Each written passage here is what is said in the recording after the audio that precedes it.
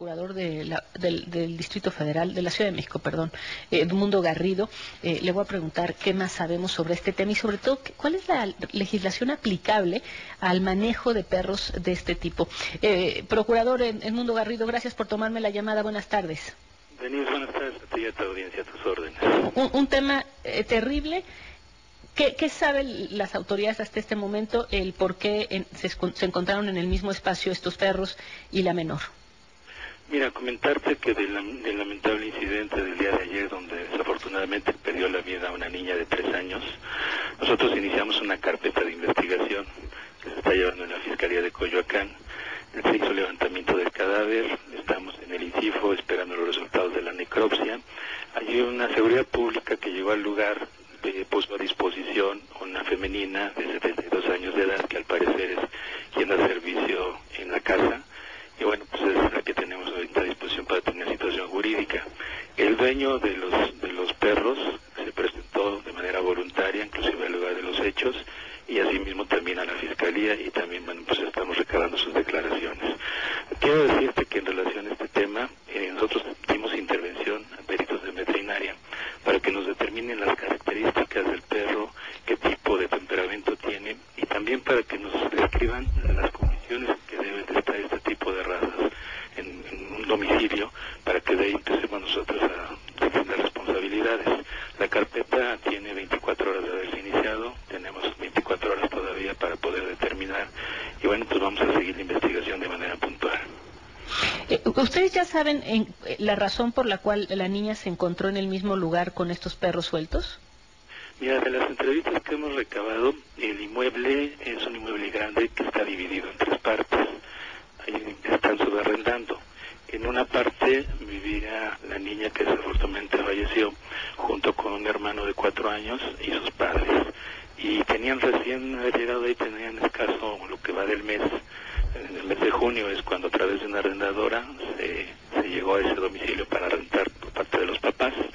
Este, se supone que los perros se encontraban en la azotea, resguardados en jaulas, y la persona que da el servicio es quien tenía que darles, este, sacarlos para pudieran estar en el patio, y los sacaba inclusive por parejas, no nunca los cuatro juntos. Eso es lo que hasta ahorita tenemos en relación a, a por qué se encontraban en el patio y por qué los niños también se encontraban en el patio.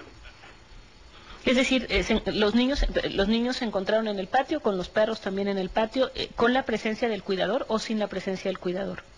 No, lo que tenemos es que los perros estaban en el patio, eh, al parecer un familiar también que se encontraba en el domicilio, un adulto que es pariente de la niña que falleció, se encontraba con ellos, es la mamá de, del papá de ellos, y fue quien salió con ellos al patio. Esto es lo que tenemos hasta bueno, Pero en fin, eh, eh, digamos, aquí cuando se trata de buscar responsabilidad, eh, ¿cómo se busca la responsabilidad? Es decir, se busca saber si estos perros se pueden mantener en la forma en que se tenían, se tiene que saber si...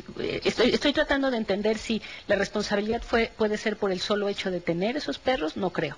Tendría que ser por el hecho de tenerlos en ciertas circunstancias, por no haber previsto que no podían eh, estar eh, conjuntamente con menores. Digamos, estoy tratando de, saber, sí, estoy tratando de saber eh, ante una cosa tan delicada qué es realmente lo que se tiene que dilucidar a partir de la investigación. Sí, mira, Denise, lo que nos tiene que dar la pauta es el dictamen en veterinaria, que nos determine las condiciones, temperamento y que nos puede precisar si se encontraban en las condiciones de vida donde deben de estar resguardados es lo que estamos esperando para nosotros también poder determinar algún tipo de omisión que se pueda desprender como responsabilidad. En, en algunos países están prohibidas ciertas razas. No es el caso en nuestro país, ¿verdad? Tengo entendido que no, esa no es legislación de nosotros, pero mm, tengo entendido que no. Muy bien. Pues, eh, procurador, estamos pendientes, por supuesto, de la información sobre este tema, que sea lo que sea, es una horrible tragedia. Procurador, preguntarle rápidamente sobre otro asunto, porque nos acaba de decir nuestro compañero eh, Juan Antonio Jiménez que fue detenido el líder del cártel eh, Tláhuac Chalco en la colonia La Conchita Zaputitlán, un hombre, de, eh, un hombre de, que se llamaría Felipe de Jesús Pérez con el alias El Ojos. ¿Qué nos puede decir al respecto? Mira, en relación a ese tema, es una acción federal, es una acción federal que eh, nosotros tenemos operativos coordinados con ellos. estamos dando nosotros resguardo perimetral y bueno, pues es un tema que la federación en su momento pues tendrá que dar también la información correspondiente. los operativos con la federación en la ciudad son de manera coordinada.